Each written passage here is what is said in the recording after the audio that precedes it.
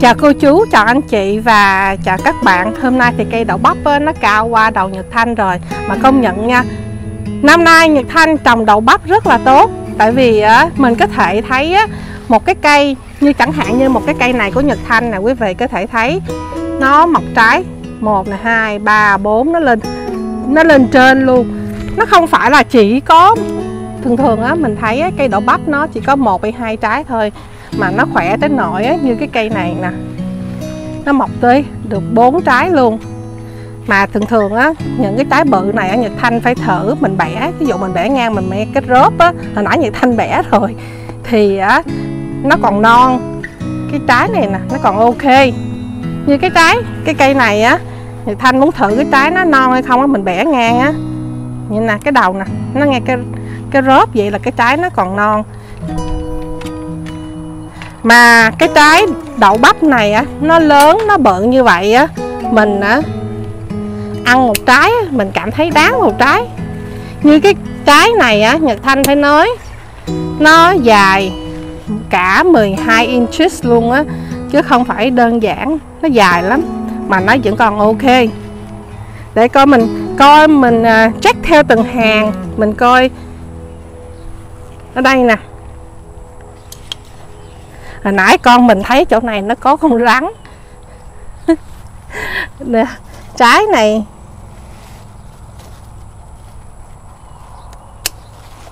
Mình thử cái trái này luôn. Mình thử coi cái trái này nó non không, mình bẻ cái đầu. Nè, cái trái này nè, nó dai nè, nó hơi dai.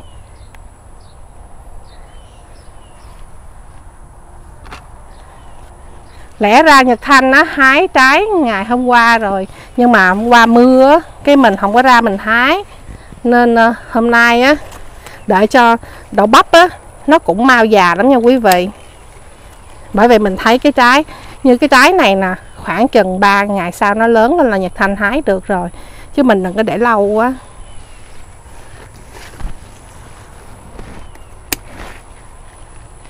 Để thử cái trái này coi nó non không nó non. Nhưng mà tại sao mình à, nhiều khi á, Nhật Thanh bẻ nó gì để mình cắn thử cái trái này coi. Cái trái này nãy bẻ nó siêu dẹo siêu dẹo á mình cắn thử. Ừ, nó non chứ nó không đóng gì á. Đậu bắp này á mà ăn sống á ngon lắm.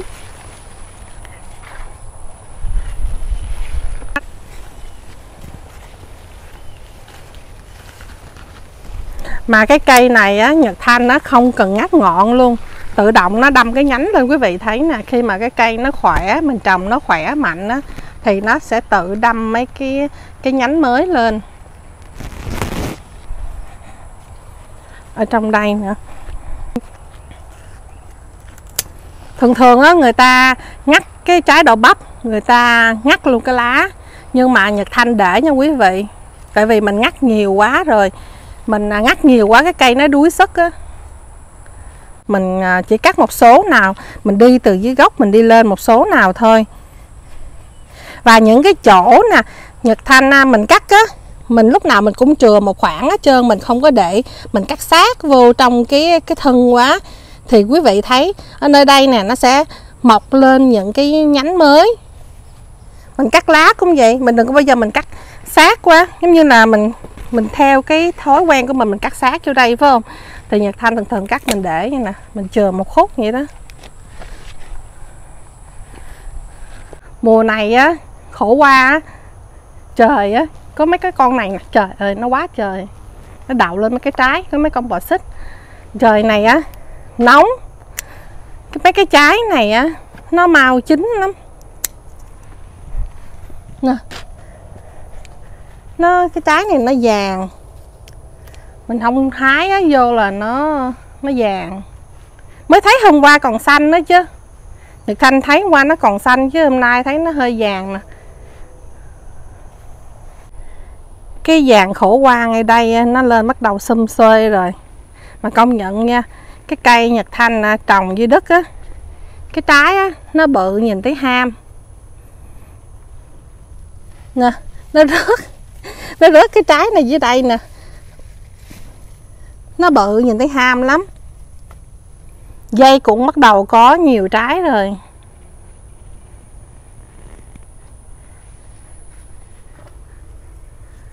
Hôm bữa nhật thanh ờ, trời mưa đá bên đây á, nó cũng đứt một số dây ấy chứ. Mình đi cắt, mình bỏ. Rồi ờ, bể một số trái nữa. Nè cái trái này bự nè, không thấy nè, sao mình không thấy ta? Để cắt. Như cái trái này nè. Nó lại khổ qua màu trắng. Mình để làm giống luôn. Ở đây nhà thanh có trái khổ qua màu trắng, màu xanh. Mấy con ong này nó cũng xiên ghê, nó làm việc. Chứ ờ, nhật thanh mấy cái này á, mình không có chấm mà thường thường nha, quý vị để ý đi. Nhật thanh không phải nói là tuyệt đối, nhưng mà đa phần á, những cái dây leo á, là lúc nào cũng cần ong thụ phấn hết. Mà những cái cây mà nó mọc đứng á, thì đa phần là nó tự thụ phấn mình không nói tuyệt đối nha, mà quý vị để ý đi. Để ý những cái cây mà thường thường cây đứng á, nó tự thụ phấn nhiều hơn. Và những cái dây leo á, đa phần là nó cần ong thụ phấn để mình hái cái trái này coi coi nó dài bao nhiêu. Một gan nè ha gan hơn.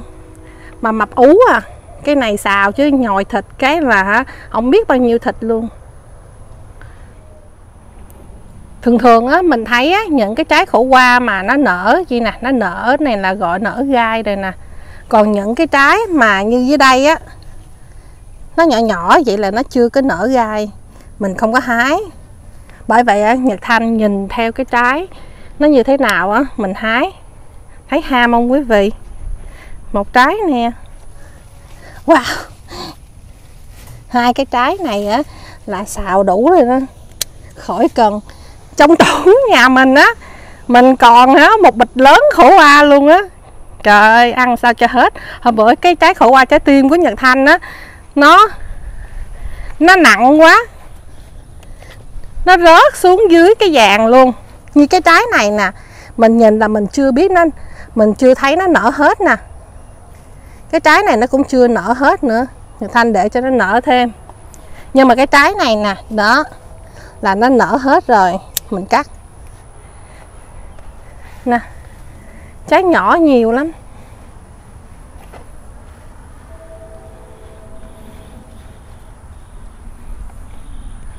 Thì thấy nè, cái trái mọc dưới đất với cái trái trồng trong chậu á, nó khác nhau hoàn toàn à. nó cái độ lớn cái trái trong chậu nó không bằng cái trái dưới đất. Trái dưới đất nè, nhìn bự quá. Đố quý vị cái trái này là cái trái gì? Mọi người đoán là nhật thanh khen hay cái trái này á là cái trái dưa leo. Nhật thanh năm sau chắc mình không có trồng loại này nữa đâu. Tại vì cái loại này á, mình thấy mình để á, sao mà nó có ít trái quá à. Mà mình để coi chừng nào nó già, thấy không già mà nó càng ngày càng lớn. Loại này là dưa leo trắng nha quý vị. Mà nhìn giống như là trái dưa gan. Mình nhìn thấy giống trái dưa gan không? Tức cười quá à. mà nó không phải là chỉ có một trái không đâu, trái trong đây nên là mình hái thêm trái nữa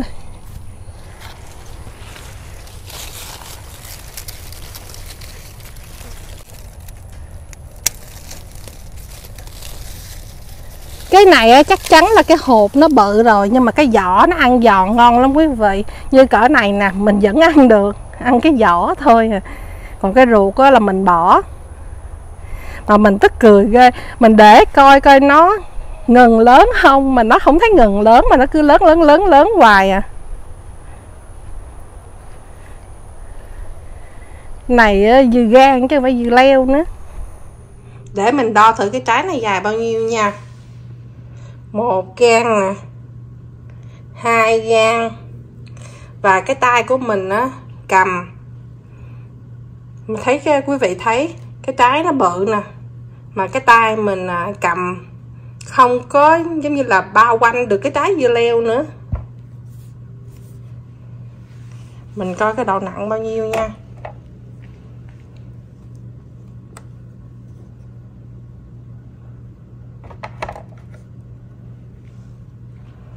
Cái trái này á, thì à, Nhật Thanh thấy khoảng 3 pound 13 ao. Thì tính ra bên Việt Nam mình á, thì khoảng gần 2 kg mình chỉ nói khoảng như đó thôi nha gần 2 kg thôi chứ chưa tới 2 kg đâu. Khiếp dễ sợ luôn á.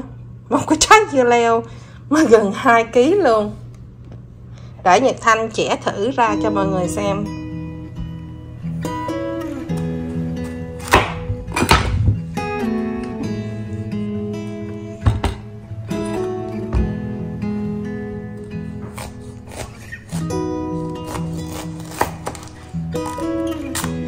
Cái dưa leo á. Nghe dần rụm mà. Mỗi lần mình ăn cái trái này nó ngộ lắm. Mấy cái hộp ra. Vì cái hộp á, nó nó già, nó cứng rồi. Mình công nhận nha, cái trái này nó ngộ lắm. Nó không ăn hột.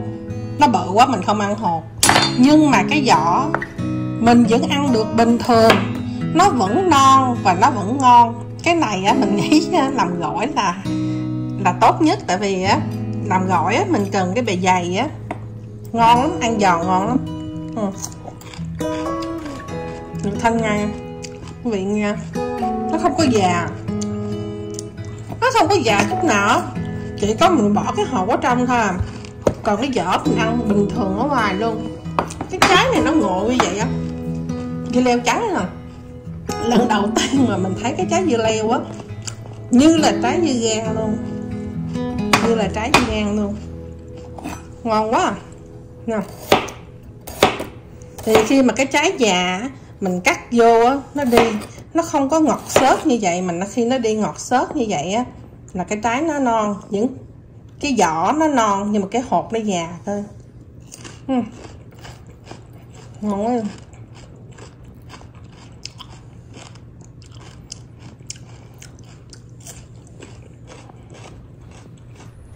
Ở đây á thì mình chỉ có một cái trái bầu độc nhất vô nhị thôi.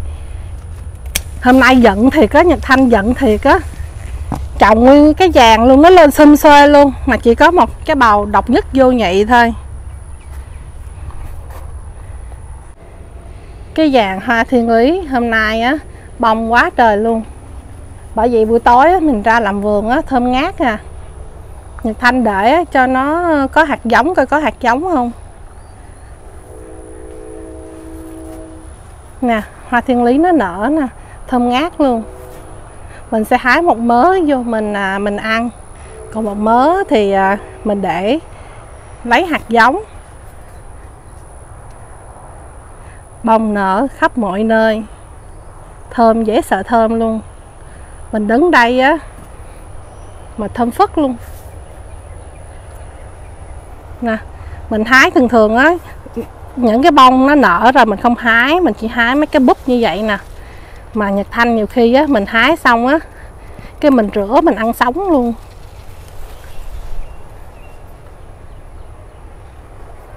Quá trời. Nó bị cây bầu lứng nó đè nó luôn à.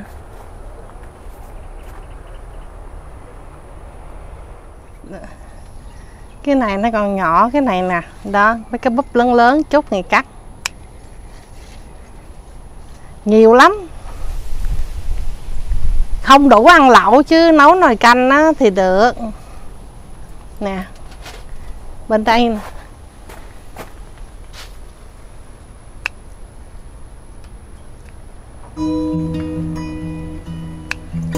Nhìn lên muốn mỏi cổ luôn. Đây mới nhiều nè mình ăn số thôi.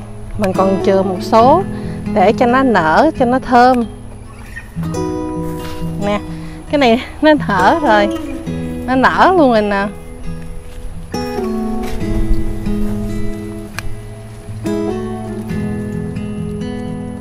Cái này á, nhật thanh à, bón phân á, cho nó ra nhiều nụ, nhiều bông.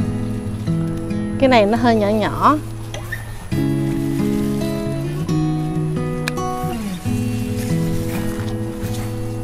Chưa dễ quay dưới hả con? Mày coi trên đây coi. Mình đem cái ghế ra để mình đứng, mình lùn quá, mình đứng. Mà cái anh quay phim nè, anh đứng lên trên đây, tuốt đây luôn. Này còn nhỏ quá, thôi. Quá trời nụ luôn á, quý vị. Mà nó còn nhỏ nè, nó còn nhỏ con, mình ăn không có được. Nó ăn uổng lắm để cho nó lớn chút chút. Con cái mấy cái nụ này là quá trời luôn. Nhiều lắm. Mà nó nhỏ nhỏ nhỏ nhỏ nó chưa có lớn này nè được mà. Kệ đi. Cắt luôn. Đây nè. Ở đây.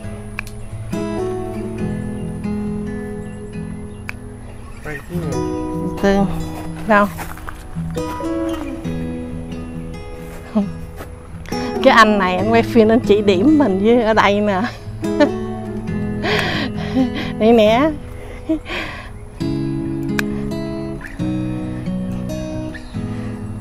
Cái này á mà để trong nhà thơm phất luôn nha quý vị.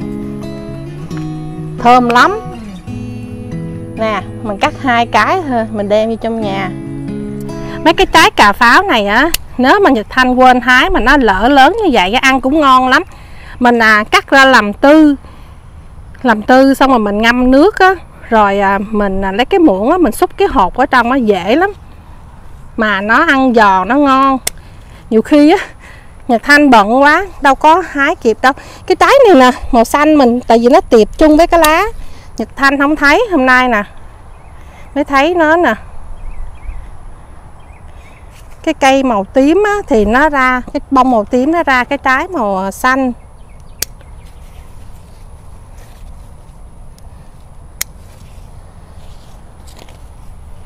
Nhiều dễ sợ luôn á.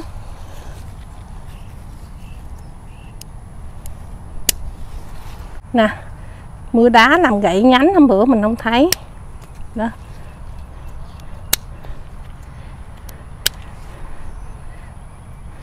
Mấy cái trái này nó bự hết rồi.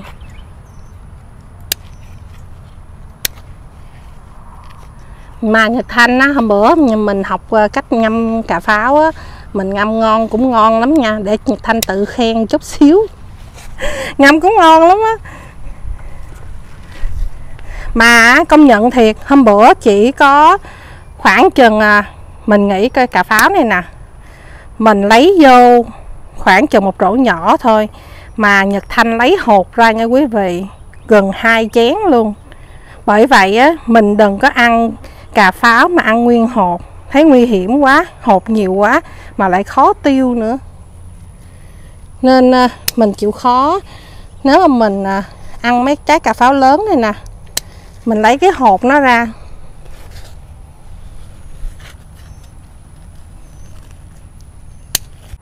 Mấy cái trái nào ở nó bị hư như vậy nè là bị mưa đá đập vô nó. Cà chua của Nhật Thanh cũng bị vậy nữa. Cái trái á, nó bị à, nứt rồi bị bể. Hồi nãy mình cắt kéo giờ mình uh, nhổ tay. Nha quý vị thấy á, cái trái nó không có nhỏ đâu cái trái này nó bự lắm. Mình càng để nó càng bự. Mà không sao mình à, cắt ra làm bốn á mình ngâm nước lấy hột dễ lắm.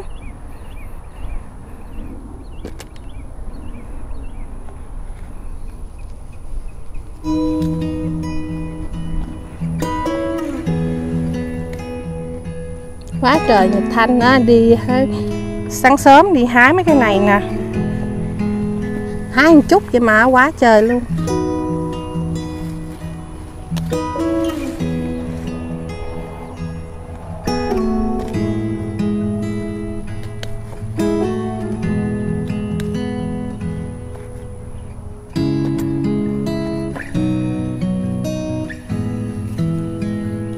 Thường á, mình trồng mấy cái cây này á, mình trồng nhiều san sát nhau để nó đỡ nó đỡ lẫn nhau.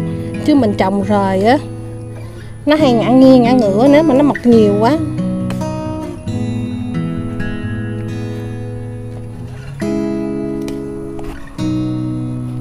Mấy cái trái này như thanh để nó lớn luôn đi. Mình thấy mình lấy hộp ra cũng dễ.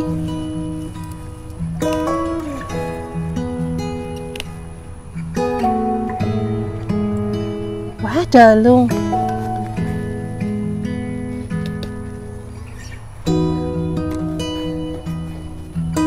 Nè, quý vị xem nè, cà pháo trong đây nè.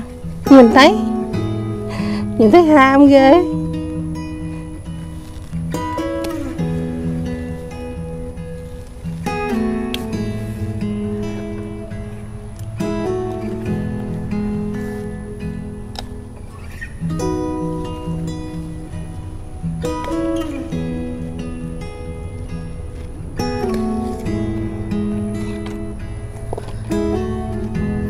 Này có ba trái.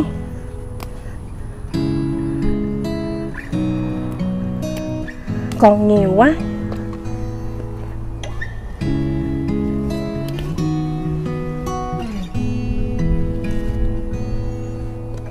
Ở đây á, nhiều khi nhà Thanh nói chứ, mình trồng rau mà mình không có hái đúng là cái chỗ mình trồng rau ăn đâu.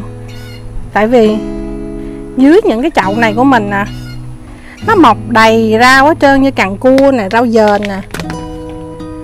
Nó mọc tùm lum khắp mọi vườn luôn á.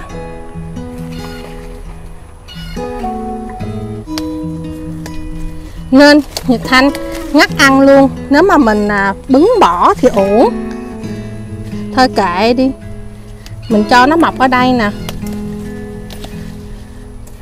Mấy cái hạt nó bay á nó mọc tùm lum hết nội nhật thanh á, mình đi mót rau không á, là mình ăn còn không hết nữa, không chỉ là mình đi tới cái chỗ mà mình trồng á.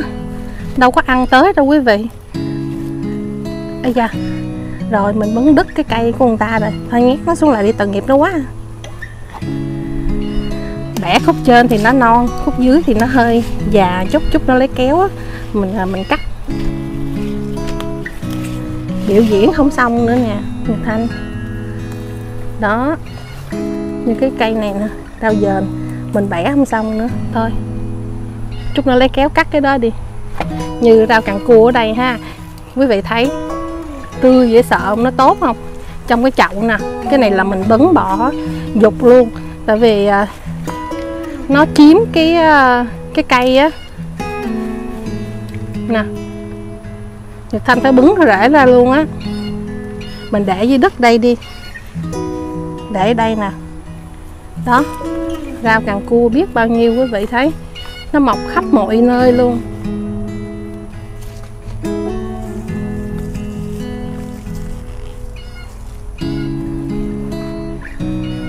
Thôi à, Nhật Thanh xin ngưng video ở đây nha. Và xin chúc cô chú anh chị các bạn có một ngày vui vẻ. Đây là ngày sáng chủ nhật.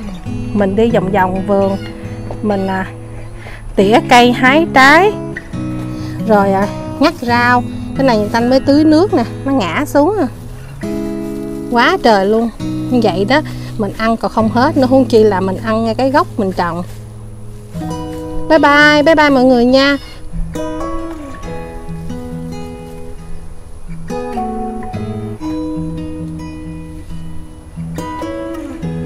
Đây là những gì Nhật Thanh thu hoạch ngày hôm nay. Mình đi mót rau không á mà được một mớ rau dền nè. Nhật Thanh còn cái chậu kia nữa, nó mọc đầy trong kia mà mình chưa có bứng lên. Rau càng cua nữa nè. Chỉ có bọc đại thôi á, mà được nhiều như vậy. Mà Nhật Thanh còn mấy chậu nữa chứ không phải là ít như vậy đâu. Tại vì mình chưa ăn hết á, nên mình chưa có cắt tới. Bởi vì rau càng cua mình trồng á, nó bay tùm lum khắp vườn, nên Nhật Thanh ít khi nào để hạt giống lắm. Đậu bắp nè, hai trái dưa leo trắng khổng lồ, một trái bầu cầm, mình cầm cái trái này nặng, dễ sợ luôn nha. Nó nặng mà nó dài. Nhật Thanh nghĩ chắc nó 5 găng tay quá. Một nè, hai, ba, chắc đúng là 5 găng tay. Cỡ 5 găng tay. Khổ qua, cũng lớn nữa. Nhìn thấy ham. Và một mớ cà pháo. Thôi, nhật thanh bé bay thiệt nha. Mình chỉ giống như là tổng kết lại những gì ngày hôm nay mình đi hái thôi. Và ngày nào nhật thanh cũng hái như vậy, chắc ha mình ăn không nổi luôn. Khổ qua này á. Trái bự này á, nhật thanh còn nhiều trong tủ lạnh lắm, cả một bịch luôn á. Mình phải thanh toán cái bịch kia trước khi mình ăn cái này. Bye bye bye bye mọi người nha. Bye bye lần nữa. Nhật thanh dài quá.